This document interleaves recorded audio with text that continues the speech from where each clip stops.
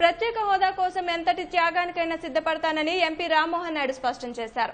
శ్రీకాకుళం జిల్లా అమృతాల వలసలోని రైల్వే స్టేషన్లో ప్రత్యేక రైల్వే జోన్ సాధన దీక్షను చేపట్టారు. తెలుగువారిని అవమానించిన ఏ ప్రభుత్వాలు అధికారంలో ఉండలేవని అన్నారు. దేశ ప్రధాని నరేంద్ర మోదీ ఐదు కోట్ల ఆంధ్రుల ఆత్మాభిమానం దెబ్బతినే విధంగా వ్యవహరించడం సరికాదని అన్నారు. రాష్ట్రాన్ని అడ్డగోలుగా విభజించినప్పుడు పార్లమెంట్లో భాజపా ప్రతిపక్ష పార్టీగా ఉందని అన్నారు. అటువంటి భాజపా రాష్ట్రానికి న్యాయం చేస్తుందని భావించి రాష్ట్ర ముఖ్యమంత్రి చంద్రబాబు నాయుడు పొత్తు పెట్టుకుంటే అధికారంలోకి వచ్చిన తర్వాత అవమానించడం సరికాదని అన్నారు. కేంద్ర ప్రభుత్వం నుండి నిధులు వస్తాయని రాష్ట్రాన్ని సమగ్రంగా అభివృద్ధి చేద్దామని ముఖ్యమంత్రి ఎన్నో అవమానాలు సహిస్తూ ఢిల్లీ చుట్టూ ఇరవై తొమ్మిది సార్లు నిధుల కోసం తిరిగారని ఫలితం లేదని రాష్ట్ర ప్రజల హక్కుల సాధన కోసం మాత్రమే తాము నిరసన ఉద్యమాలు చేపడుతున్నామని అన్నారు. We want justice! Narendra Modi Narendra వైఖరి ఎక్కడారా? తీసుకోవచ్చు స్టాండ్ వేసుకొని తీసుకోవచ్చు. వైఖరి! నశించాలి నశించాలి! మోడీ నిరంకుశ వైఖరి! ఆంధ్రుల హక్కు! ఆంధ్రుల హక్కు! వంటి వైఖరి మీద నిరసన తెలియజేసుకుంటూ శ్రీకాకుళంలో ఉన్నటువంటి ఆమదల వలసలో ఉన్నటువంటి శ్రీకాకుళం రోడ్ రైల్వే స్టేషన్లో కేంద్ర ప్రభుత్వం మీద మేము నిరసన తెలియజేసుకుంటూ పన్నెండు గంటల సేపు రైల్వే స్టేషన్లోనే రాత్రిపూట పడుకొని మా తాలూకా దీక్షను మేము తెలియజేసుకుంటున్నాం. రెండు వేల పద్నాలుగో సంవత్సరంలో రాష్ట్రం విభజన జరుగుతున్నప్పుడు ఐదు కోట్ల మంది ఆంధ్ర ప్రజలు రోడ్డు మీదకు వచ్చి మాకు అన్యాయం జరుగుతుంది మాకు విభజన చేయొద్దు అని ఎంత చెప్పినప్పటికీ కూడా ఆనాడు ఉన్నటువంటి కేంద్ర ప్రభుత్వం కాంగ్రెస్ పార్టీ వాళ్ళ సొంత రాజకీయ లబ్ధి కోసం రాష్ట్రాన్ని విచ్చలవిడిగా హేతుబద్ధత లేకుండా విభజన చేయడం జరిగింది.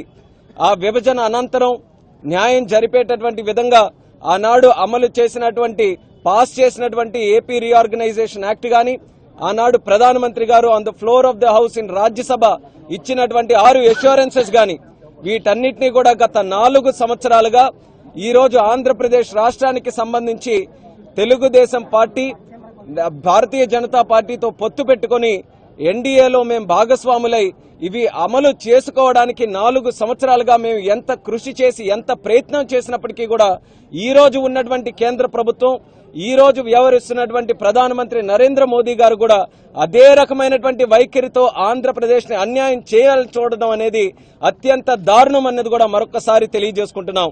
దాన్ని నిరసిస్తూ ఎప్పుడైతే ఐదవ బడ్జెట్ కూడా ఈ కేంద్ర ప్రభుత్వం ప్రవేశపెట్టిందో ఆ ఐదవ బడ్జెట్లో కూడా సుమారు గంట సేపు అరుణ్ జైట్లీ గారు ఆ రోజు బడ్జెట్ని పార్లమెంట్లో ప్రవేశపెట్టి ఒక్క మాట కూడా ఆంధ్రప్రదేశ్ రాష్ట్రానికి సంబంధించి ఒక్క మాట కూడా చెప్పన చెప్పనటువంటి పరిస్థితుల్లో పార్లమెంట్ బయట మొట్టమొదటిసారిగా కేంద్ర ప్రభుత్వం మీద గాని వాళ్ళు ప్రవేశపెట్టినటువంటి బడ్జెట్ మీద గాని నిరసన తెలియజేసినటువంటి పార్టీ మా తెలుగుదేశం పార్టీ అనేది కూడా తెలియజేస్తున్నాను. ఆ ఐదవ బడ్జెట్ ప్రవేశపెట్టిన తర్వాత నుంచి నేటి వరకు కూడా అనేక మార్గాల ద్వారా మా తాలూకా నిరసనని మేము తెలియజేసుకుంటూ వచ్చాం. ఈరోజు ఇందులో ఎటువంటి రాజకీయం లేదు. మా రాష్ట్రానికి ఏదైతే హక్కులు మీరు చేస్తామని అన్నారో ఏవైతే విభజన చట్టంలో ఉన్నటువంటి హామీలు అమలు చేస్తామన్నారో అవి మా హక్కుగా ఈరోజు మీరు అమలు చేయాలని కేంద్ర ప్రభుత్వానికి గత రెండు నెలలుగా మేము మా తాలూకా గొంతు చించుకొని అరిచి కేంద్ర ప్రభుత్వం ముందు పెట్టడానికి మేము అన్ని రకాలుగా ప్రయత్నించాం. ఈరోజు మర్యాద పూర్వకంగా మేము అడుగుతున్నాం. మా తెలుగుదేశం పార్టీ అధ్యక్షులు మరి ఈ రాష్ట్రానికి ముఖ్యమంత్రిగా వ్యవహరిస్తున్నటువంటి చంద్రబాబు నాయుడు గారు తన స్థాయిలో ఒక ముఖ్యమంత్రి గారి స్థాయిలో కేంద్ర ప్రభుత్వానికి ప్రధానమంత్రి గారికి లేఖలు రాసి మీరు అమలు చేయాల్సినటువంటి అంశాలు ఎందుకు జాప్యం చేస్తున్నారు? మాకు ఏ రకంగా అన్యాయం జరుగుతుందని పదే పదే ప్రధానమంత్రి గారికి లేఖలు రాస్తుంటే ప్రధానమంత్రి గారు కోఆపరేటివ్ ఫెడరలిజం దానికి కట్టుబడి నేను ఉన్నాను అని పదే పదే చెప్తున్నటువంటి ప్రధానమంత్రి గారు మర్యాద పూర్వకంగా ప్రధానమంత్రి స్థాయిలో ఎందుకు